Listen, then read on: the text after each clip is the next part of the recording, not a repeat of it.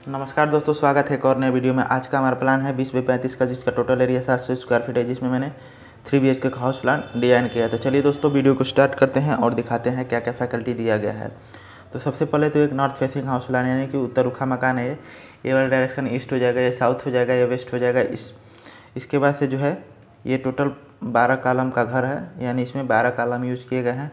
तो चलते हैं अपने प्लान की तरफ़। तो सबसे पहले आपको यहाँ पे फ्रंट में बरामदा देखने को मिलेगा, क्योंकि एक विलेज हाउस प्लान है तो इसमें बरामदा ज़रूरी रहता है। बरामदा का जो साइज़ मैंने रखा है, नौ फीट बाई छः फीट का रखा है। बरामदा के बाद आपको यहाँ पे मेन डोर मिलने वाला है। मेन डोर की चौड़ाई चार फीट रखी गई है।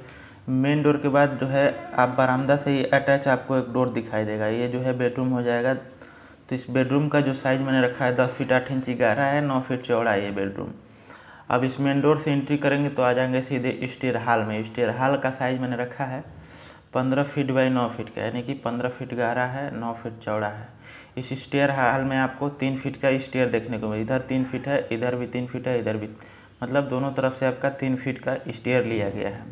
और स्टेयर का अप जो है, यहाँ से है तो यहाँ से स्टेयर का अप हो जाएगा क्लाकवाइज स्टेयर है। स्टेयर हाल में आपको एक बेडरूम देखने को मिलेगा, जिसका साइज़ नौ फीट बाई दस फीट का है हमारा बेडरूम तो ये हमारा दूसरा बेडरूम है, छोटा बेडरूम है। अब पीछे की साइड में चलेंगे, इस आर्च से एंट्री करेंगे। ये हमारा आर्च हो जाएगा।